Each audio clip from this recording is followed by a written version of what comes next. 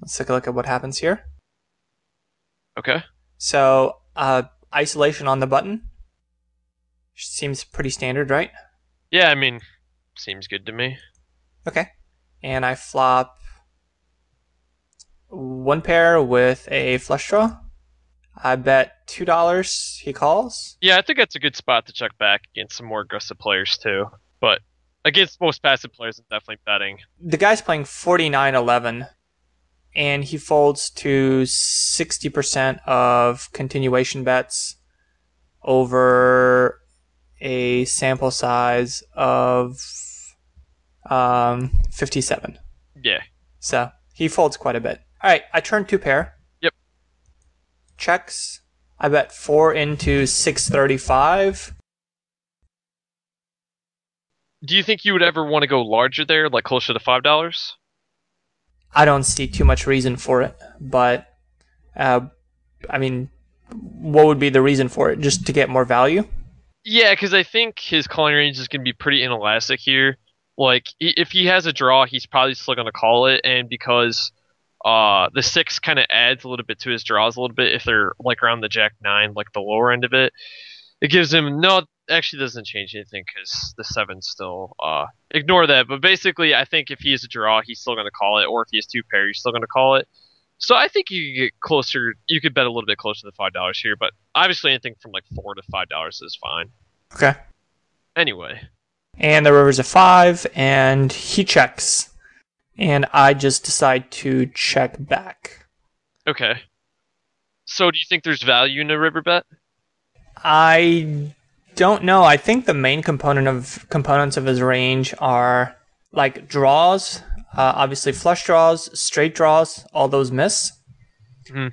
And then, Yeah, the only thing to get there is like 10 8 7, oh right, yeah, yeah, but that's like super unlikely. Or at least it's not a large part of his range. right. And then like an ace king and an ace queen type hand. And I don't know. Well, ace queen, ace queen. We, yeah, we we have both of those beat. Uh, in terms of what I'm losing to, um, I mean, ace jack is the only hand that I could see uh, us losing to. So there there might be some thin value versus an ace king or an ace queen uh, type hand, or like a you know ace five is another one that might Or like Jack 9 or something. Jack nine, sure, sure, sure. So there's probably some value there. Again, I wouldn't bet. I wouldn't bet a lot. Yeah, like 40% at the most. So like if I bet, uh, if I would have bet five bucks on the the turn, yeah, I could bet five bucks again on the river. Four bucks I bet on the turn. Seems a little bit small here. Probably bet like five seventy five. Yeah, that seems about right. And if like you know that like this obviously goes into like knowing a player really well, but like if you think like he's gonna put you in a busted draw, he's gonna snap you with like any jack or ace, you can bet the river really large.